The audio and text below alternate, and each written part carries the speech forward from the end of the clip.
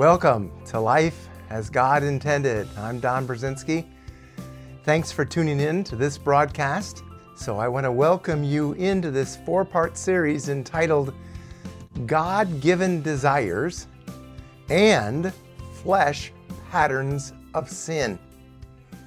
So, before we can understand how our God given desires can become distorted and become flesh patterns of sin, it's essential to first understand what these God given desires are and why they exist in us and how God intended for them to be expressed through our lives. So, this will be the first of a four part series. So, let's jump in. God given human desires, and I'm distinguishing in the soul. Obviously, we're made up of a spirit, a soul, and a body. We've discussed that in previous broadcasts. We won't be doing that today, but we will be discussing that these God given desires and flesh patterns of sin, which can and have developed within us, we're focusing on the soul. That's going to be very important for you to understand. So, what are these God given human desires in the soul? Well, let me illustrate it like this Imagine a garden filled with beautiful plants, each one unique, vibrant, and designed to thrive under the care of a skilled gardener. God given desires are like the seeds that are planted in this garden. They are amoral, neutral, in, and neither inherently good nor bad. They are packed with potential for growth. If you've ever planted a garden, you know what I'm talking about. So, just as seeds need water, the sunlight, and nutrients to grow into healthy plants, our desires need to be rooted in God's provision for them to flourish properly. And when they are, they reflect His character and purpose.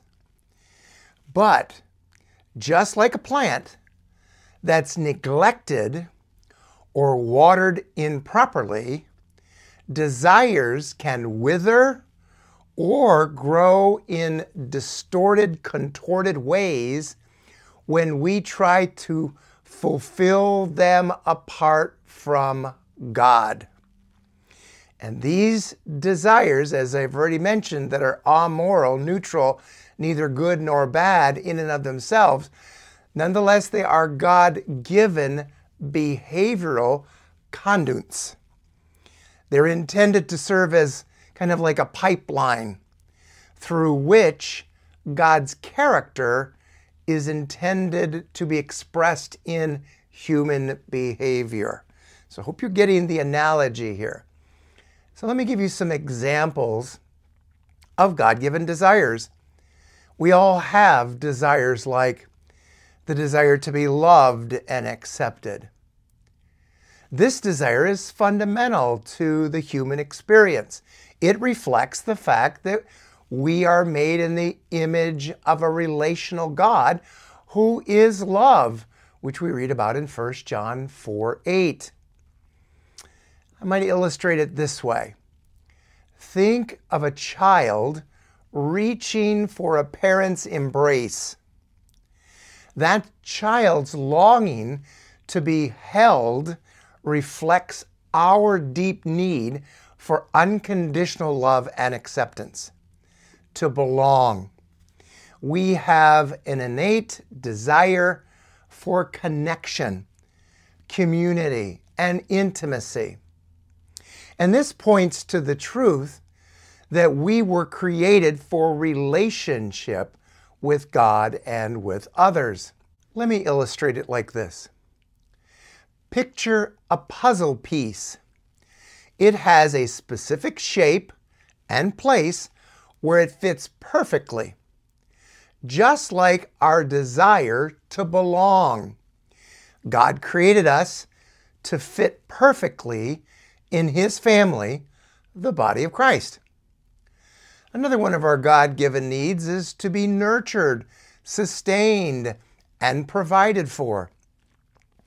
Our desire for care and provision points to God as our ultimate provider, as Paul wrote about in Philippians 4:19. I might illustrate it like this. Consider a tree planted by a stream. Its roots drink deeply from the water, providing everything it needs for life and growth. In the same way, God is our constant source of substance. Another God given need that we all have. We have the need for security, meaning, and purpose in life. These desires reflect our search for significance and stability in a world that often feels very unstable. God is our rock and our anchor, as Hebrews 6:19 illustrates. And our ultimate purpose is found in him. May I illustrate it by thinking of a lighthouse. Amidst the stormy seas of life, we seek security and guidance.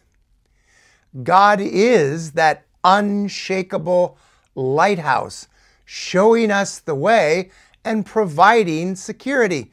Not to mention that He is the way, that He is the truth, and He is the life. We also have a desire for identity, for creativity, freedom, worship, and responsibility. These desires reflect aspects of God's own nature, which he has shared with us, or at least he wants to share them with us. For example, our desire for identity mirrors God's design for each of us to be a uniquely created image or in the image in his image as Genesis 1:27 states. Our desire for, for creativity reflects God as the ultimate creator and our own creative expressions are reflections of His divine creativity. Our desire for worship points to our fundamental need to acknowledge and glorify the one who is greater than us. Even our basic physical needs, like the desires for food, drink, sleep, and sexual expression. All of these desires are essential, not only for our survival, but our well being, and were given to us by God for our good. May I illustrate it this way? Just as food fuels our physical body, so our desire for love, belonging, and purpose fuel our soul when they are aligned with God's design. So, as you can see, all desires are God given. And there is nothing wrong with any of these desires. In fact, they were designed by God to be expressed in harmony with His will and purpose for our lives. Let me give an, a window of understanding. God given desires functions as pipelines. Just as water flows through pipes to nourish crops, so too should God's character flow through our desires, resulting in behaviors that reflect His love, grace, and truth. However, as we all may know and realize, problems arise when we try to fulfill these desires apart from God. This is when distortion sets in. The pipeline becomes clogged, diverted, or broken. And instead of expressing God's character, our desires become self focused and sinful. You and I were created to choose to derive our life and character from Him. In conclusion, now that we've laid a foundation for understanding what God given desires are, it's clear that these desires were designed for good.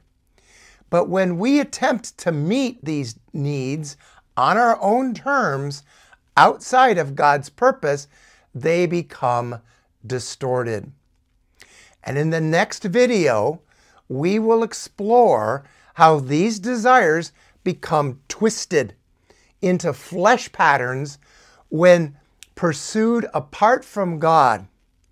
So join me for part two as we continue our journey through this series. And may I call you to action. Why not reflect this week? Take some time to reflect on the desires you recognize in your own life. Are you seeing these desires as God given? Or are there areas where you've sought to fulfill them apart from God? As mentioned in the next video, we'll dive deeper into what happens when these desires are pursued outside of God's will, leading to distortion and brokenness. Thanks for joining me for this broadcast and sharing these with your friends.